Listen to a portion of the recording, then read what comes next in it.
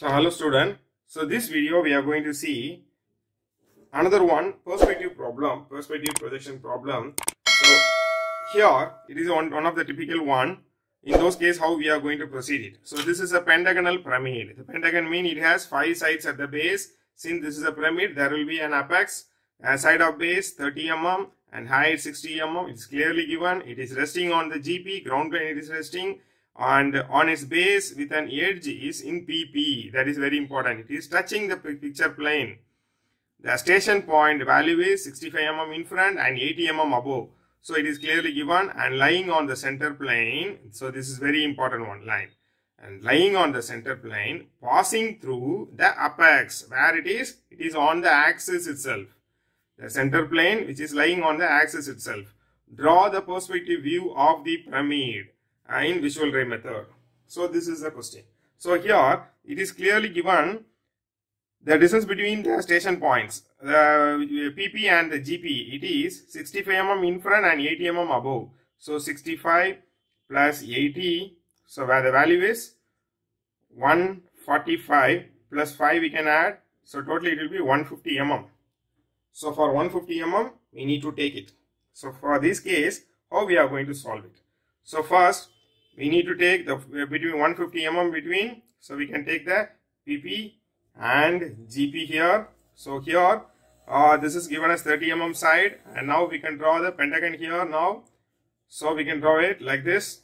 This is the solid and next we can project everything here downwards. So and uh, then here the center plane is located on here. The station point will be at these points. So here we can draw like this. We can project it everything. Now here on this area if we are going to do it. So this will not be a correct one. So look at here. These all the lines, these all the points we can do it except this O and this DR endpoint. So we cannot concern. For this case, how we are going to proceed it is the distance between the station point and the picture plane that is how much it is in front the same value has to be taken in this side. That will be the alternate picture plane here. So this has to be drawn. The same solid has to be drawn projected in this way like this. It has to projected in this way. The solid will be like this now. Now from here we are going to project it. So on those case here where it meets the picture plane on here we are going to draw the horizontal line and we are going to find out the rest of the points. So this is a way how we are going to proceed it so this is one of the method uh, how where we are going to take this method it is whenever the center plane is lying on the axis of the solid whenever the center plane is lying on the axis we have to go for this method we have to take this method. That is the only procedure. So we can solve the problem now. So before that, we need to free up our spaces. To free up our spaces, so here I have taken uh, 150 mm. So let me take, so this area, this area we can take it. So for, uh, for, for this distance, I'm just drawing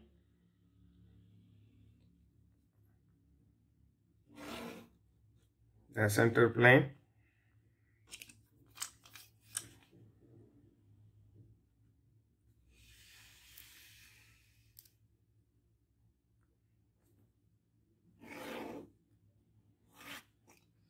so this is picture plane and this is ground plane and here I'm just marking the pentagon pentagon is 30 mm so 30 mm is not enough here so I will take it for 25 mm here now.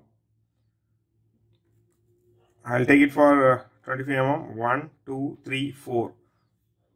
4 will be at here.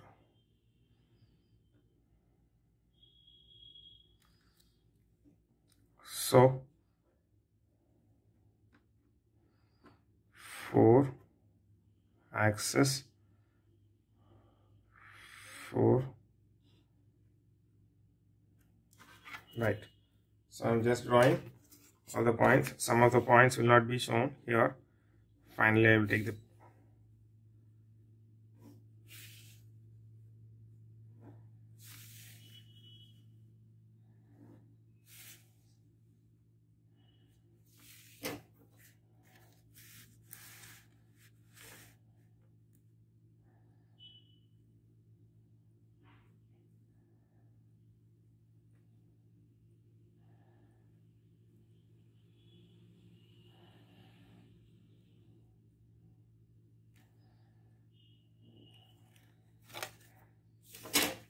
So this is the access point.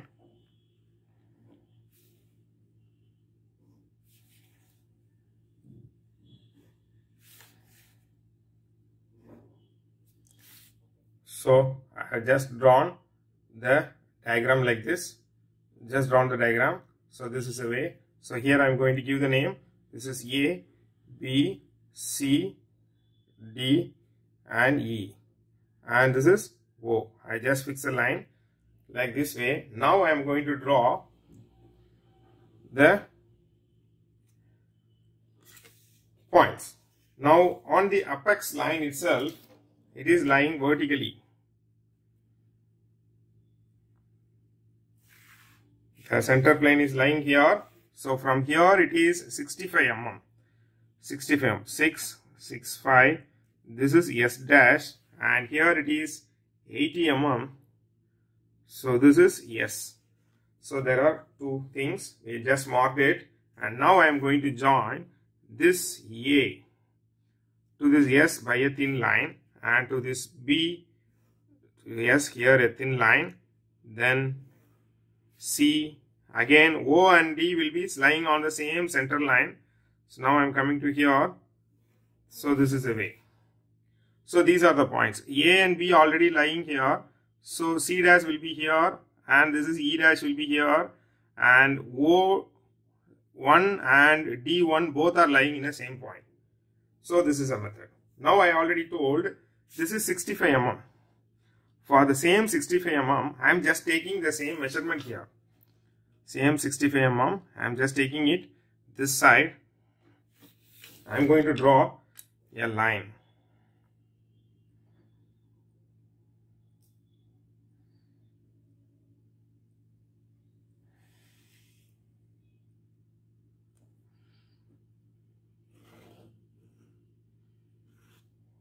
Line like this.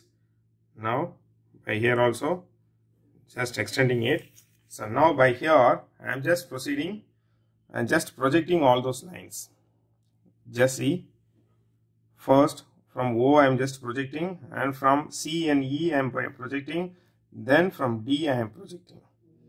So then from D I am projecting like this. So this is a way of doing it. Next this line also I am just extending it so we need the diagram here now. Now by taking your compass by taking your compass I am just measuring this length. Look at here. I am just measuring this length here now. Now I am marking an arc. Likewise for all the three length just making an arc like this So you can clearly see I'm just making the arc like this, keeping this point as the center and these distances as a radius. I just made the arc like this. Now by here I'm just drawing the parallel lines. This has to be extended Now I am just drawing the parallel lines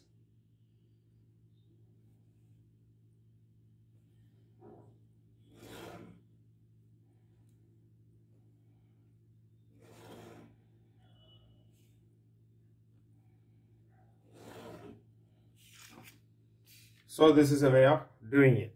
Now, what is the solid height? The solid height is, here the solid height is given as um, 60 mm. The solid height is given as 60, 60. So where the O is, this is the O, this is the O point.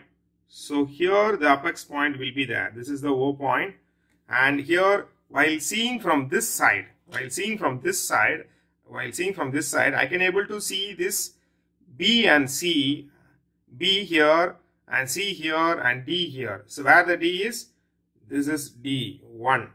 I can mark it. Uh, we can mark the D1 dash. This is C1 dash and with behind the E1 dash will be available. And here initially I can able to see this B and behind the A1 dash is available. B1 dash and A1 dash both these are the lines will be available now.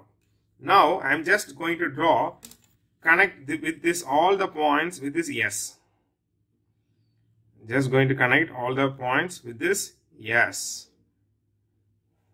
Now to here also I'm just going to connect it.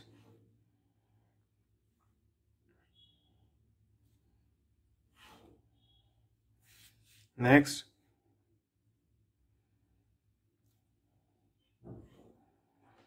for this wall also I just connected. So here the crossing points. So this we need to mark it. These are the crossing points. So this is O and this is D and this is C and E. This is A and B. A and B is all, already in the ground. A and B is here you can see the A and B is already in the ground. So here we have marked A, B, C, E, D. So A and B is already in the ground. So there is no need of worrying. So here these lines will be crossing at these points. So you have to be very clear. Now I am going to draw the horizontal line. So before that, where the A will be crossing here, we need to find it. This is the A point will be crossing. So I just drawn a vertical line. So this point will be called as A. So, so here this A and A will be coincides. Now for B I am just drawing the vertical line, projection line. So this is B, it crossed. Then for C, this is C point and for D, for E, this is E point. Where the C and E is here, this is the line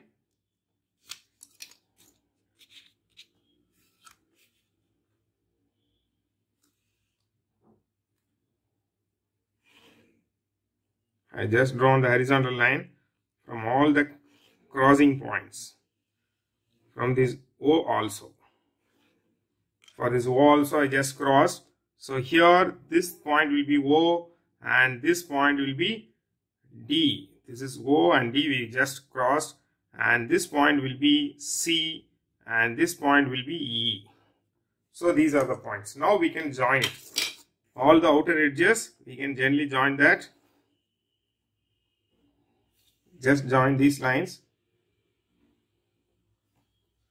Okay next. This also can be joined. Now while seeing from this side we are able to see this OA and OB also.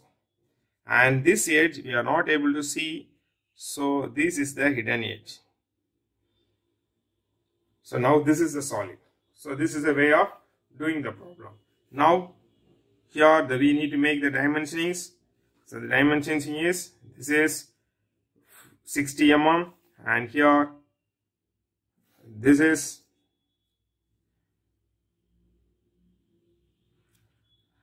Eighty mm and here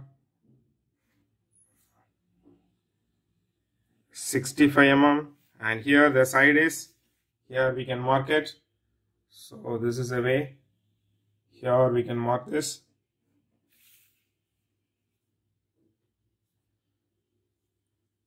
Thirty mm. So like that we can do it.